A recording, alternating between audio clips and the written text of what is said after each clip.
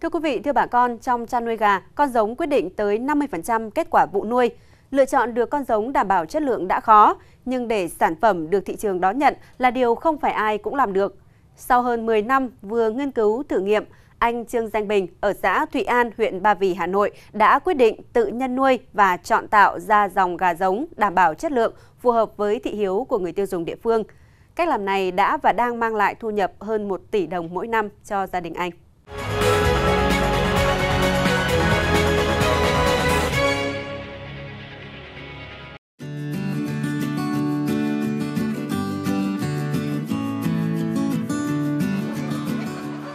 Một con gà mía 4 tháng tuổi trước đây sẽ có trọng lượng trung bình từ 3 cân đến 3 cân rưỡi. Tuy nhiên đối với những con gà mía nhà anh Bình thì lại ờ, có trọng lượng hoàn toàn khác. Quý vị và con có thể theo dõi ở đây ạ.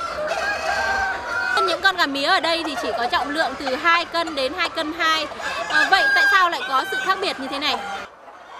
Lai tạo để gà có tầm vóc nhỏ hơn, nghe chừng là điều phi lý, thế nhưng anh Trương Danh Bình lại có lý do riêng của mình thì mình phải nọc bỏ các con to quá, con nào bé quá mình bỏ. Ví dụ 3 cân rưỡi hoặc 3 cân thì hai vợ chồng, hai đứa con thì ăn mấy ngày hết nó trở thành nó không ngon mà cô người ta băm không không không ra được. Ví dụ con gà tầm 2 cân 2 cân kia hai thì ví dụ mầm cô thì người ta băm đôi ra được hai đĩa, nó rất rất đẹp. Phương pháp di gà theo cách gọi của anh Bình thực chất là cách lai tạo giống. Theo đó, khi gà đạt 4 tháng rưỡi đến 5 tháng tuổi, anh sẽ lựa chọn những con gà khỏe mạnh, có ngoại hình ưu tú nhưng có trọng lượng nhỏ, trung bình từ 2 đến 2,5 kg đối với con trống và 1,6 đến 1,8 kg đối với con mái. Những cá thể có ngoại hình lớn sẽ được lọc để bán thương phẩm các con gà này là mình sẽ chọn các con nó thật đều đều nhau ví dụ nó to quá mà nó vộc vộc nốc bên nên ấy, thì là mình phải lọc bỏ và cái con mà nó di bé quá thì mình phải bỏ Thế thì tức là mình ờ, anh có phải bắt từng con lên cân một hay là mình chỉ áng chừng hay mắt kiểu mắt mình nhìn có kinh nghiệm rồi. Qua quá trình mình ờ, làm nhiều thì mắt mình ờ, nhìn cái là mình biết được con gà nó tầm cân hai cân mấy hay mấy cân là mình biết rồi. Mình cứ thường thường mình lọc khoảng 30% đi để lại khoảng 70% để cho nó sự đồng đều nó đẹp. Thế nhưng việc lựa chọn giống không đơn giản như thế. Để đưa con gà mía về trọng lượng như mong muốn, anh Bình đã mất hơn 10 năm tự mày mò, nghiên cứu. Những con gà mía được cho lai từ nhiều đàn gà khác nhau để hạn chế vấn đề cận huyết, đồng thời vẫn giữ được phẩm chất của con gà mía thuần trùng.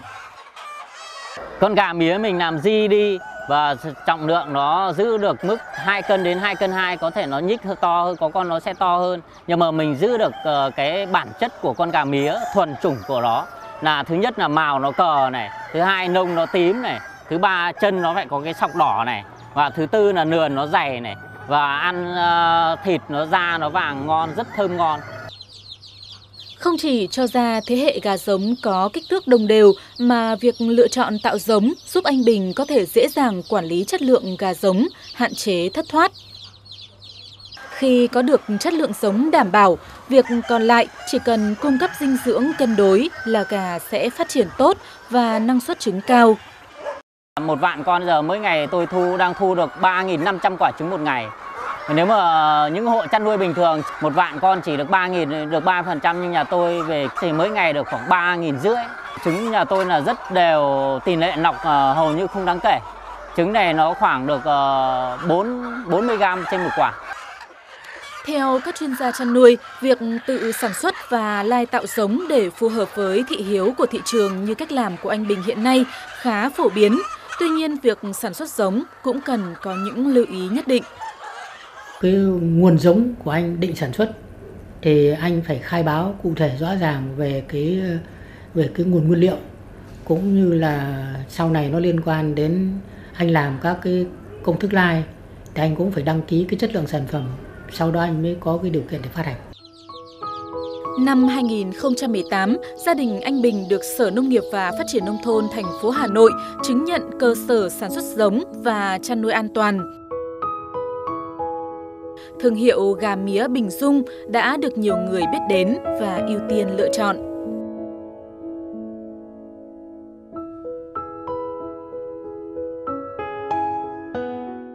Mình nhận thấy là con giống ở đây à, rất là ổn định. Thứ nhất là là giống gà mía thuần chủng, thứ hai là các tình trạng mà à, viêm rốn các thứ là gần như là không có. Vậy nên là năng suất rất là cao và nửa nào mình cũng đặt con giống ở đây. Như bây giờ mới một tháng là mình ờ, bán khoảng 15 đến 20 vạn con ờ, một tháng. Nhưng mà như nguồn giống như bây giờ là mình cung cấp chưa đủ đáp ứng cho thị trường người ta nuôi. Để đẩy mạnh phát triển thương hiệu gà mía tại địa phương, trong thời gian qua, anh Bình đã tổ chức liên kết với nhiều hộ chăn nuôi tại địa phương. Trong đó, anh sẽ là người đứng ra cung ứng con sống và thu mua sản phẩm trứng của bà con. Trong năm 2018 vừa qua, doanh thu anh đạt được từ mô hình chăn nuôi gà sinh sản là trên 1 tỷ đồng.